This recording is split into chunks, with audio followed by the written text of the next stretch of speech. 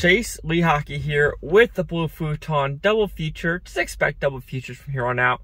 So this one is Spinning Gold as well as his only son. So it's about Spinning Gold first. So this is about the Casablanca founder and his story from like Brooklyn to going to LA and how many bands he signed, which is like Donna Summers, which very sexualized scene. Like I wasn't expecting like a little like dirty dancing scene in this movie.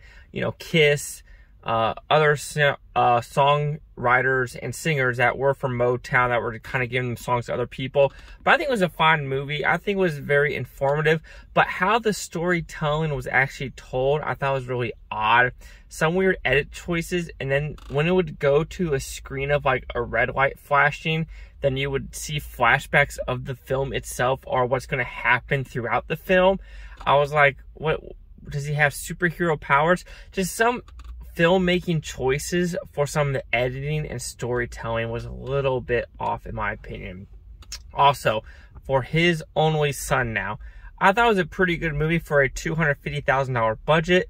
Little did I know the director was uh, a Marine in Iraq, just GI Bill, to go to film school. But just Friday alone, this movie made $2 million.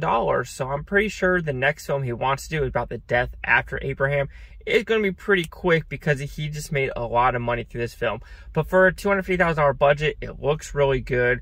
The acting is pretty good. I think some of the makeup could have been a little bit better because you could tell, like, you know, a couple of takes of the crying, the crying, you know, just little stuff like that. But I think it's a very simplistic movie and it did have some information where it's like I knew the story of him needing to sacrifice his son, but other stuff that happened in between had some good dilemmas. But even though I wish it did explain it just a little bit more about the backdrop of this other, you know, king in the area.